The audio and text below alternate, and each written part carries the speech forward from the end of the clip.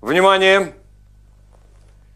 Приговор по делу за номером 4353 гражданина Матвиенко Альфреда Терентьевича о мошенничестве и подделке документов государственного образца. Всем встать.